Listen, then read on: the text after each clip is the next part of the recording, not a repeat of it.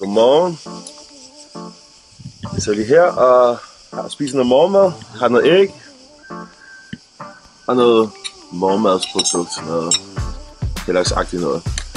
Og så har jeg lige lidt aminosyre. Om en times tid skal jeg over træne. Og det bliver brystdag i dag. Oh, yeah.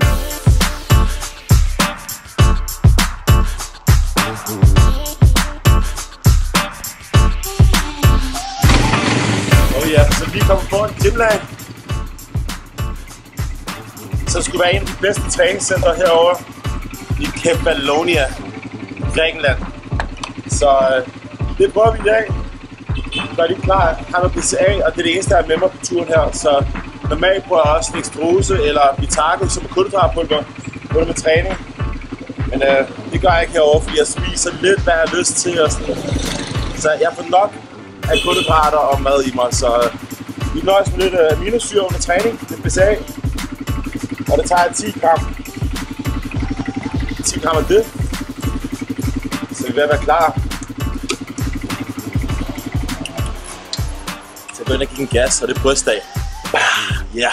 så vi går i gang med brysttræningen for i dag. Lige nu varmer jeg stadig op, og bagefter så sætter jeg lidt flere kilo på, og så kører jeg nogle sæt, hvor jeg har fokus på den negative del af bevægelsen. Og det vil sige på vej ned i bænkpresøvelsen. Så der kører jeg 5 sekunder på vej nu, og eksplosivt på vej bag. Men nu varmer jeg lige op. Skal lige have gang i ledene, skulderledene, albueledene. Så stille og roligt. Flere og flere kilo på. Og det er det bare helt almindeligt selv indtil videre.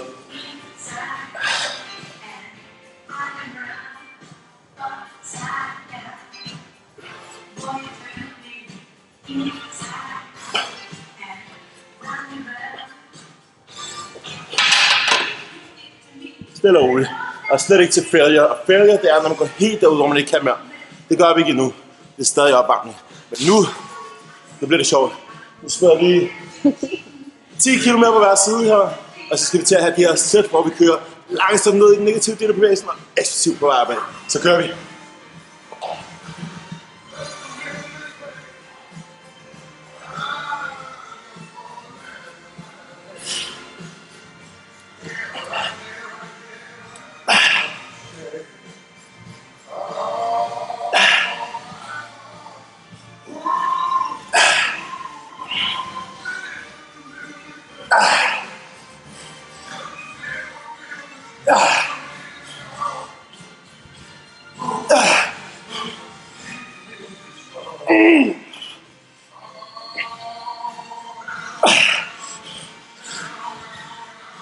that.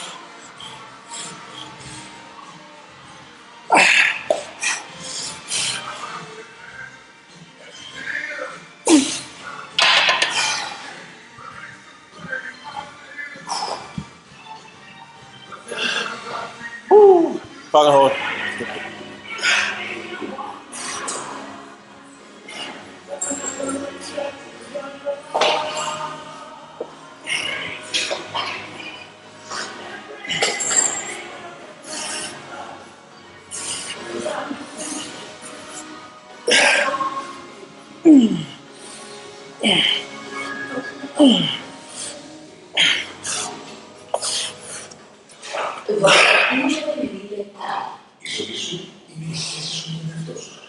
var underhand chest flyers. Mega fed øvelse. Nedfra, åbne op i hænderne her. Og så er det bare at køre op og prøve at komme lidt ind, indad mod midten. Almindelige flyers er lidt bedre, hvis man går efter at få bredt i brystet og få strukket ud i brystet. Men det er den er god til, ligesom at ramme det øverste, den øverste del af brystet. Den næste øvelse, vi har, er til alle jer, der er svært ved at opbygge et øvre bryst. Så de her pres her på smidstetid skal være meget kontrolleret. Ikke for meget vægt. Stille og roligt negativt igen. Så langsomt ned. Kontrolleret og lidt hurtigere op, men stadig kontrolleret op i væsen. Så husk ikke særlig meget vægt på i den her øvelse. Kører vi. Og vi har en lille stigning på bænken bækken her. Og jeg kører kun med 20 kg på hver side. Stille og roligt ned. Helt op til kravbenet her. Og